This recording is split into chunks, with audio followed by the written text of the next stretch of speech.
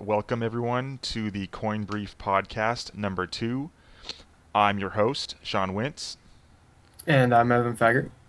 and uh, we are going to talk about some of the uh, most popular, game changing, most relevant stories in the Bitcoin and cryptocurrency space this week. So, uh, one of the biggest things that happened was uh, Apple changed their policy completely regarding Bitcoin apps, and they're actually going to start allo- allowing Bitcoin and virtual currency apps again on the App Store. So yeah, uh, I mean that's that's a huge change. Uh, what what do you think about that, Evan?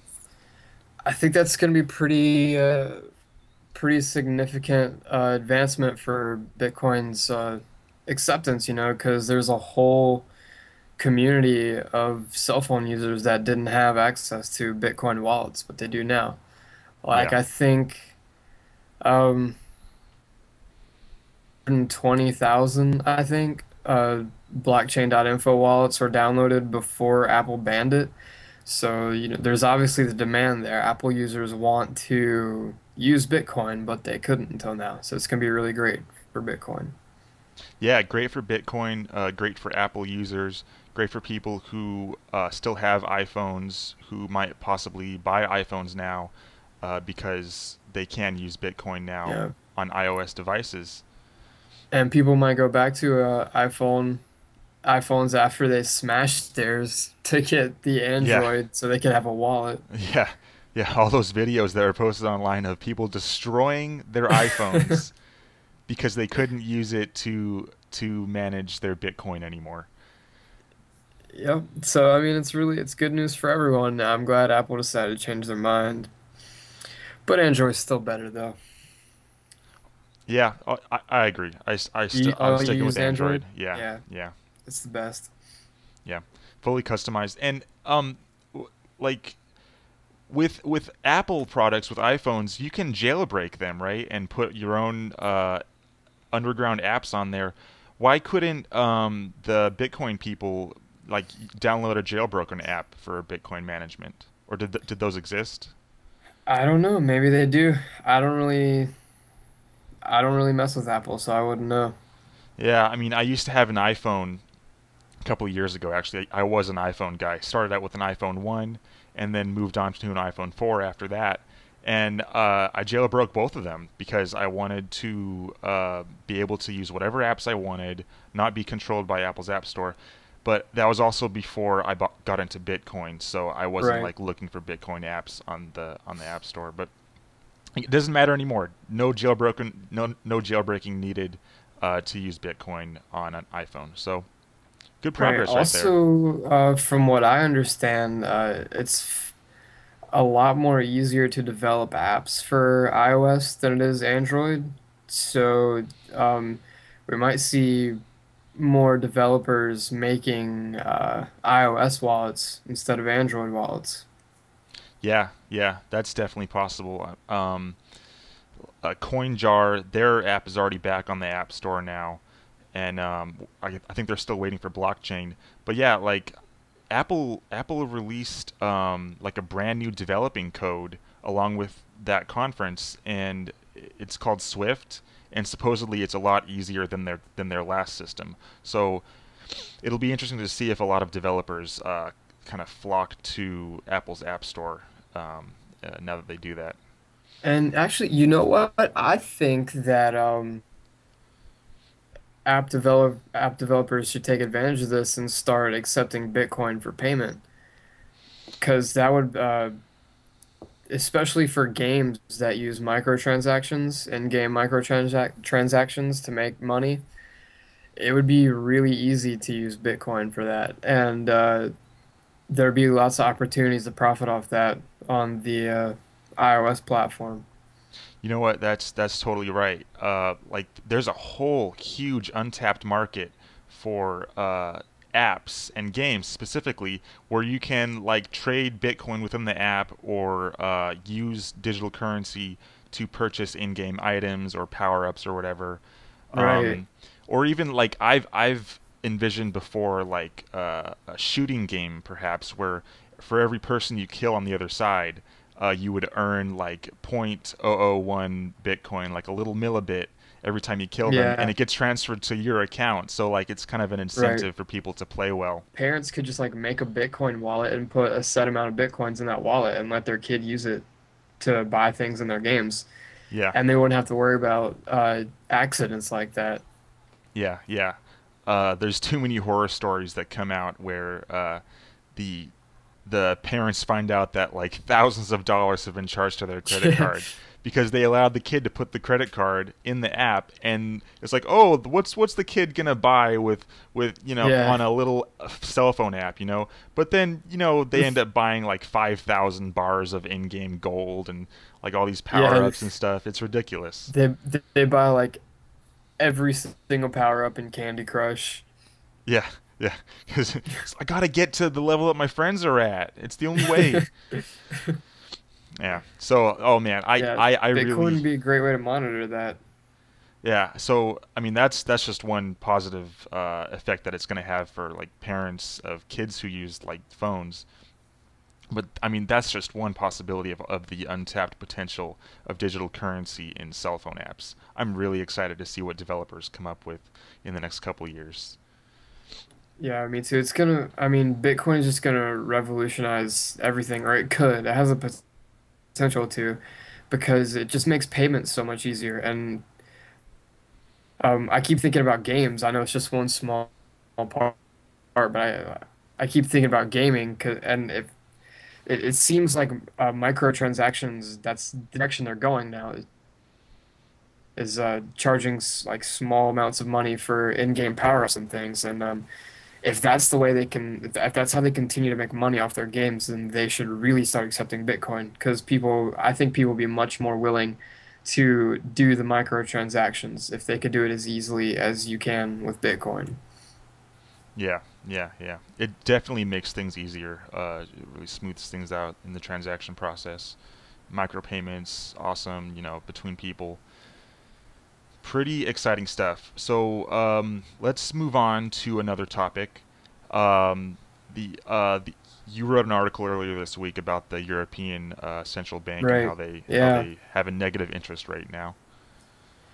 Yeah, yesterday morning, the European Central Bank announced that they would be lowering their interest rate into the negative. It's negatives, uh, negative zero point 0.1 And what that means is that normally when you like when you have like a 1 to 2% interest rate, you uh, you actually earn money from having deposits in a bank, you know, and um, but now the bank is at the central bank is actually going to be charging their member banks to hold to hold uh, deposits with the central bank.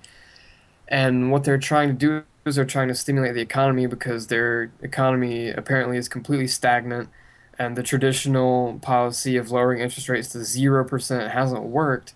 So it's this is a very desperate measure that isn't really used a lot. And um, what happened is around the same time that this was uh, that this announcement uh, hit the media, Bitcoin had a 2% spike in in prices, and it's it's generally agreed that it was a, a direct response to this uh, Euro, European Central Bank announcement.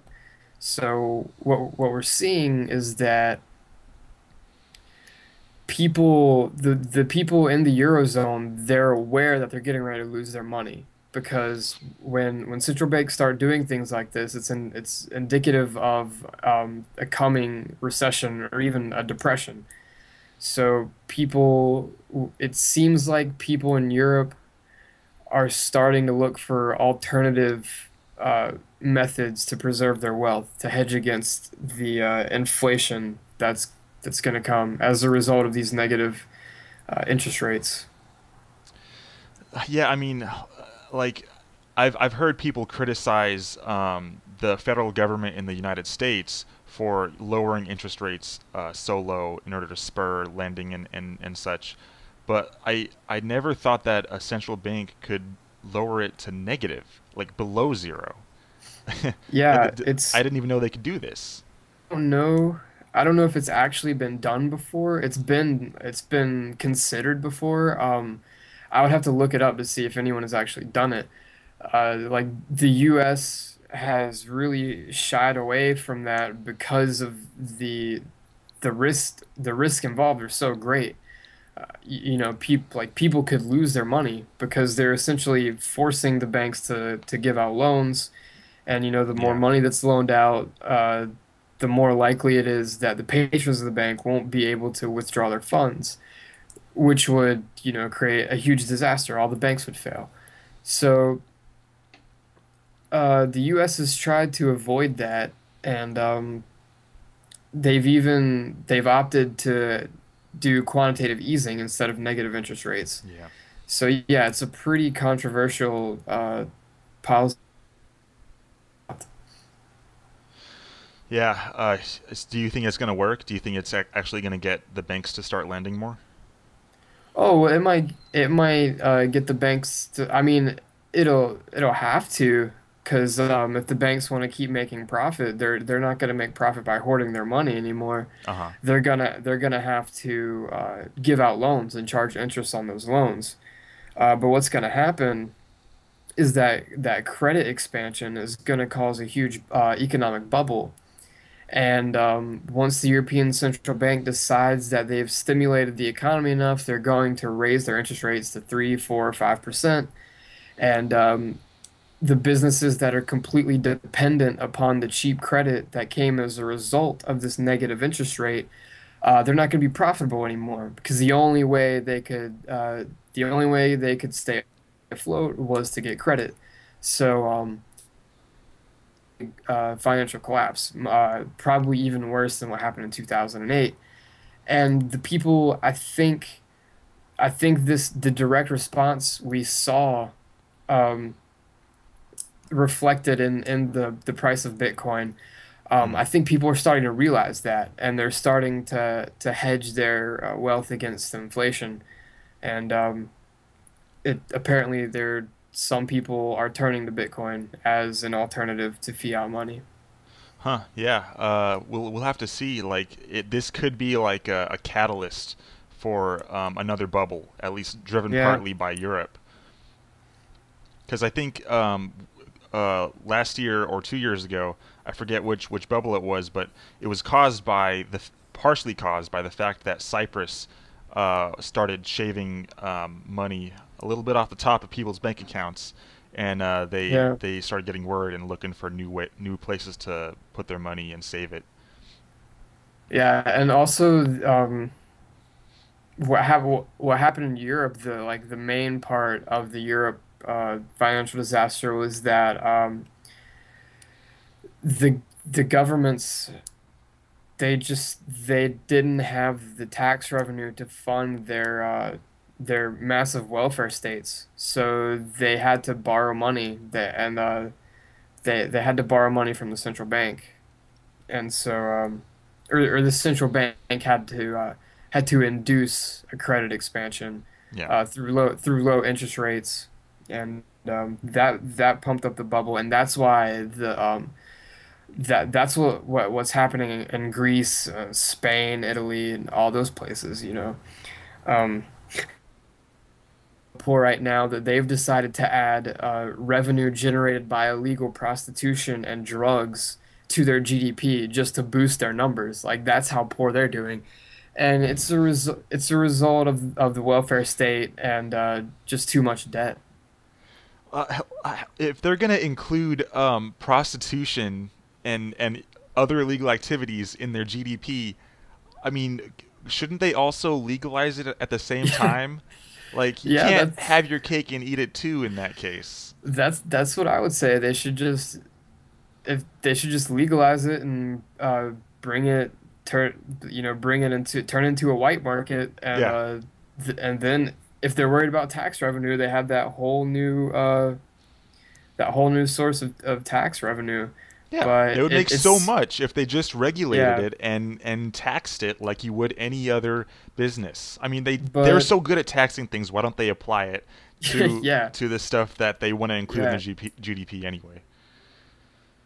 is that they just want to boost their numbers. They don't really care about the people of, of their country. Well, okay, so we're we're leading into black markets a little bit right here, so let's move on to the next topic.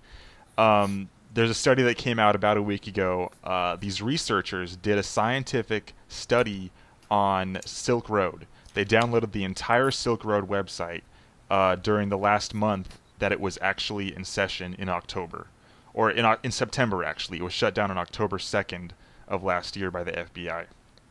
And these researchers downloaded the entire website uh, with web crawling software and then analyzed the data for all of these different product listings, uh, like which categories th- they fell under in terms of drugs, and also which categories they fell under in terms of price and quantity of the product that's being sold. So it's it was really interesting. They found out that actually a lot of the people buying on Silk Road were actually sellers themselves. It wasn't it wasn't all um, like small time drug users going on to get their daily fix or whatever on Silk Road, Right. which is what uh, most of the media and even some scientific research up until now has characterized it as. So it they really found that it's interesting that now that there's a lot of uh, there's a huge vendor to vendor market um, that actually reduces violence in the drug trade. So now you don't have uh, rival street gangs going after each other. Uh, you don't have as many uh, cartels uh, trying to threaten each other, intimidate each other, uh, you know, decapitating people, like doing these terroristic acts. Um, it's really not necessary anymore. It's impractical and and really it's impossible on the in the virtual world. Yeah, it's it's I think it's a perfect I think it's an, a, a perfect amazing example of, of free market just completely undermining governments outright. Like they're not they're not finding loopholes, they're not operating, you know, in the dark anymore. It, it's just everybody knows about Silk Road. And uh, Silk Road just doesn't care about the government, and there's nothing the government can do about it. And um, they're completely legitimizing the drug trade, and I think it's amazing. Yeah. Well, legim- legitimizing it in terms of uh, like there's there's really no risk to people on there um, as long as people uh, do their research, use encryption for their communications. Obviously, you have to use Bitcoin because it's the only currency you can use uh, for this. Don't use a credit card on, on Silk Road; it's not going to work. Yeah. Um, but like as long as you get past all the technical hurdles and uh, learn how to use Tor to stay anonymous, um, it's it's really it's quite safe. It's much safer than Yeah. than the olden days of drug trade, where like you would bring out a suitcase full of you know hundred dollar bills, stacks, and you know trade it over by the over by the river uh, for like a freaking pound of cocaine or whatever, and then you drive away, and then you run the risk of having your product stolen, like. Or ambushed in the car or or getting something shot. getting shot, like, and having your body like, uh, you know, set out as an example as to not mess with that particular cartel. All this is is crazy, and it all happens because of the illegal nature of the market. That's Yep. how criminals behave. So they're already uh, committing a crime. They might as well use threats and intimidation at the same time. But thanks to this study, we now know scientifically that uh, in a virtual world with reputation system, feedback system, uh, it's all it's it's it's a safe environment basically. Yeah, I mean, on Silk Road, uh, it seems like the only thing you have to worry about when you buy drugs from Silk Road is the government. Like, Yeah, I've yeah, I've never heard of anybody, you know, getting kidnapped by a car like by a Silk Road cartel or, you know, getting robbed or anything. Um, there was there was a security breach uh, in Silk Road 2.0 recently. Um, I guess some hacker got into the servers and stole a bunch of bitcoins. yeah, yeah, But but uh, Silk Road, the the Silk Road 2.0 administrators or whatever you want to call them, they've paid back 83% of the stolen funds, that's amazing. and um, because they actually care about their customers, uh, it's just it's proof that the drug trade is not inherently violent. Mm. Uh, it's the the violence that is that has been prevalent in the drug trade in, in the past several decades has been a result of the government actively trying to eradicate drugs from the economy. Yeah. But it's it's impossible to do that. All you're going to do is push it underground where these violent people will necessarily take over. And Silk Road is changing that completely. Yeah. I, I kind of look at it um, as it's really like an economics issue where there's a market and a demand for a particular product. Uh, there's going to be middlemen somewhere along the way in the world who will provide the service of getting that product to the people who want it. So I mean, it it's it's a choice that we as a society have to make.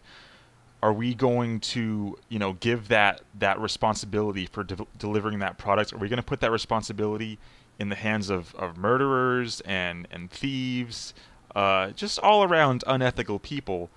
Or are we going to regulate that market that exists whether you like it or not? Are we going to regulate it and put that responsibility in the hands of, of people who care about feedback, they care about their customers, they care about ethics and not hurting people, and they and they they they're just in it to, to make money. I mean, it's it's a business at the end of the day. Everyone wants profit, right? That's incentives but you want to make sure that the the incentives for such a huge issue as drugs put it put the responsibility in the right hands. That's all I'm saying. Yeah.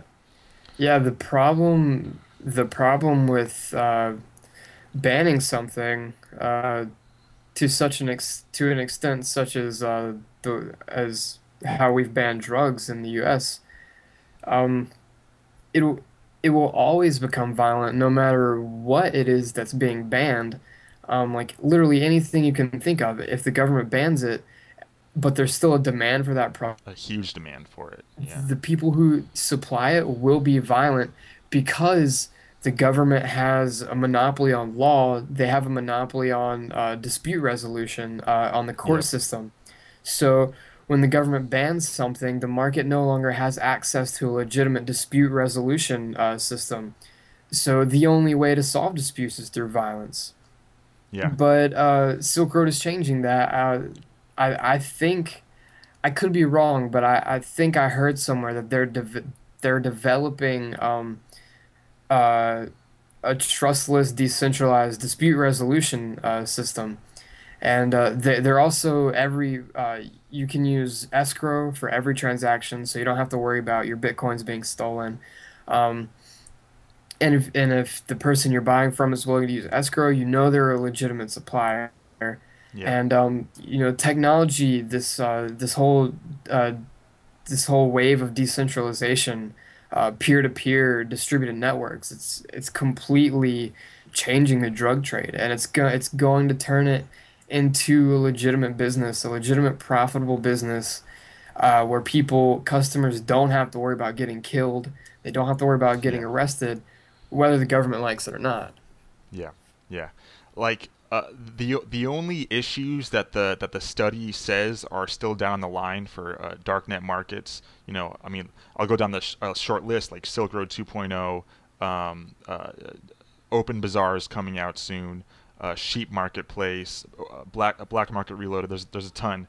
The only problems they really face in the near future are the fact that some of them are still uh, at risk of having, having their Bitcoin stolen from hackers. We just saw that happen with Silk Road 2.0 in February. It happened with Sheep Marketplace, although that might have been an inside job. But, like, you don't have to worry anymore about rival gangs and, and cartels coming to kill you. Really, you just have to worry about uh, uh, the, the system underlying the marketplace not protecting your funds. Right, but and the free market is already coming with solutions to that. Um, like Silk Road 2.0, like I said, they've repaid 83% of all the stolen funds that happened. I think it was in f- uh, February, maybe. Um, and you know, you can pretty much guarantee that they're going to be uh, ramping up their security measures. It's going to be much harder to hack uh, Yeah. the to to hack the uh, whatever is whatever they're using to store the bitcoins. hmm Um, and uh, th this happens in all areas of the economy. It's it happen it's happening in Bitcoin exchanges too. Yeah. You know, uh, Bitstamp just th- like they've started auditing themselves to prove to their customers that uh, nothing fraudulent is going on. Their money is being kept safe, and it's in response to what happened in Mount Gox. And it's all happening independent of government. The government has nothing to do with this. It's just free market solutions. They're they're happening spontaneously in in response to to things that have happened in the past. Yeah, it's it's really it's it's competition throughout the marketplace as there's more uh, comp- competitive actors, more really good competitive actors. They all help each other uh, achieve a higher standard because no one wants to go out of business. No Right. one wants to just disappear, evaporate.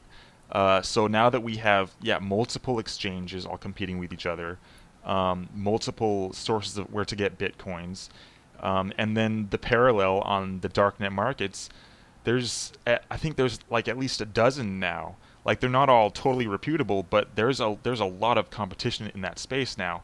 And Yep. if any one of them like accidentally loses funds and can't pay everyone back, well, that they just go away. They just no one bails them out. Uh, so it's it's really competition and free market that helps to achieve a higher standard for everyone. Yeah, I think I think what a lot of people fail to realize about the free market is that um, in a free market where there's no government safety net, there's no bailouts, and uh, these businessmen are held accountable for what they do, uh, that creates an environment where the consumer decides who wins. They decide who gets profits, and because of that, uh, entrepreneurs they're going to do whatever they can do, whatever is humanly possible to provide a good customer experience. And uh, this this is why competition produces uh, lower prices. It's why it produces uh, higher quality goods. Um, and it's and it's why these thing these uh, increases in security are happening with thing with uh, things like Silk Road and Bitcoin exchanges. It's it's because the people who run these operations are being held accountable by the held accountable by the By the market, consumers basically, yeah. because there's no one there to bail them out. Yeah, yeah. It's it's kind of a breath of fresh air a little bit, you know. Uh, I, like I you where do you which which uh, state do you live in? Wisconsin? I live in North Carolina. My bad, North Carolina. I'm in, I'm in California, but like it's it's obvious in this state at least that we have some crippling regulations that kind of don't set up a free market uh, environment at all, and it's a breath of fresh air to see the free market uh, being revived on the internet. Really, Yeah, it's it's only gonna get better too. I mean, there like th there's only it's it's only like a fraction of the world that even has internet access, and the the more available internet becomes to the world, just the more uh, the larger these uh, online enterprises will become. At yeah, some point, it's just going to render government completely irrelevant. Um, the governments won't be able to do anything to to stop these decentralized uh, uh, deep web operations. Evan, do I sense a, a bit of a, a libertarian streak among you, or a little bit of an anarchist no. streak? A I, little bit. I, I'm not. I'm not an anarchist at No? all. Anarcho-capitalist, maybe? Oh, may, maybe a little Oh, bit. slightly, slightly. There's some Stefan Molyneux uh, going on. I, I'm not a big fan of Molyneux, Oh, but really? yeah. All right. Well, um, we are currently at 29 minutes, so uh, we'll we'll stop it right there. Uh, pretty right. good discussions this week about Yeah. uh, the free markets and and uh, where the dark net is going and such. Um, so that's that's it for this second episode of the Coin Brief podcast, and uh, thank you guys for watching. We're your hosts, Sean Wentz, And I'm Evan Faggart.